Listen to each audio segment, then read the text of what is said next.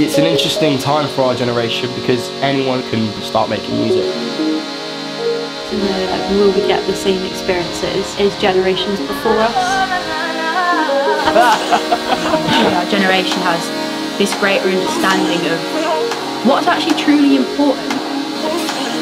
Music industry changes so much, so I feel like when it gets to like your generation starting, the other people doing it anyway. Getting a reaction of a crowd is basically what I live for. In the creative industry, it's like almost like a bit of a calling. It's like something that you're like, yeah, I have to do this. Nothing gives me the same like fire in the belly. Every single day I'm finding myself more as an artist. Young musicians like myself who really want a career in this, we need to just do as much as we can to keep it going. Step not a single division I rep, come round if you're down with the vision I set.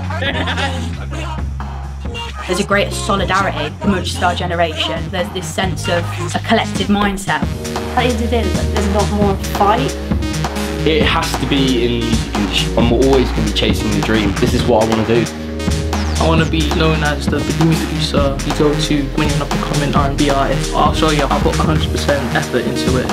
And music is like the one thing that feels comfortable for me.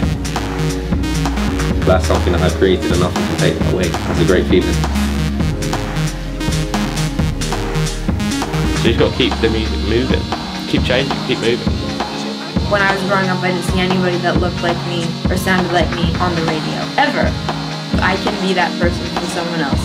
We're all on the same page. We can affect any kind of change that we want to. Because if we support one another, then we're all rising. You know what I mean? Everyone comes up. That like kind of community I didn't find anywhere.